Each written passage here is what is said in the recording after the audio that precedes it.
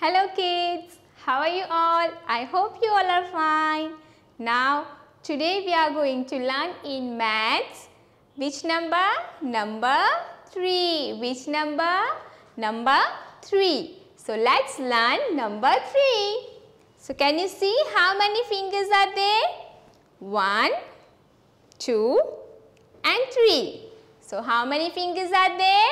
There are 3 fingers, right? Now, let's learn more about number 3. Now, see how many things are there? 1, 2 and 3. So, let's count the number 3 things, okay? Now, see here. Count the things 1, 2 and 3. So, how many things are there? 3 things, okay? So, one more time we will count it. 1, 2 and 3. How many things are there? 3 things. So, you have to count it properly. Now, come on, let's learn the number 3. How you will write number 3? Come on, let's see. So, first you have to do is what?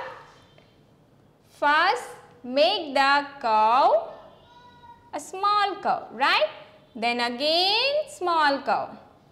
So, this is the number 3. Okay? Again one more time.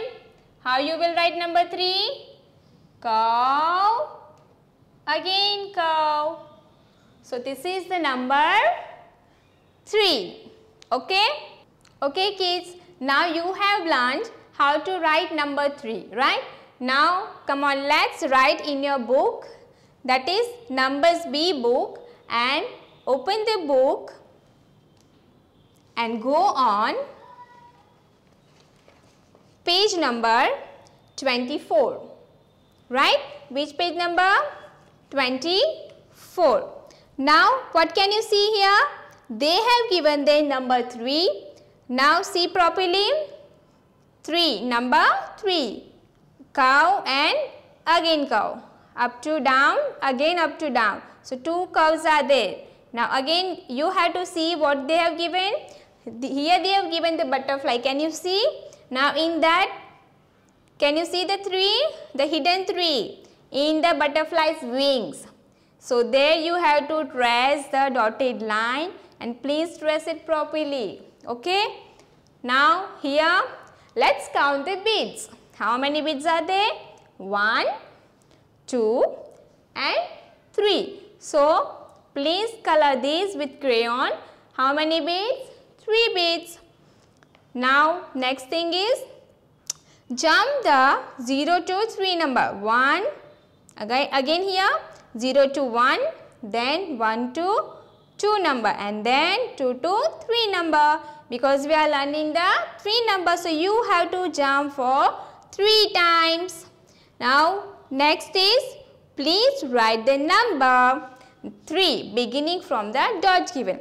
Here you have to write the first line that is tracing line only. So, you have to trace it properly.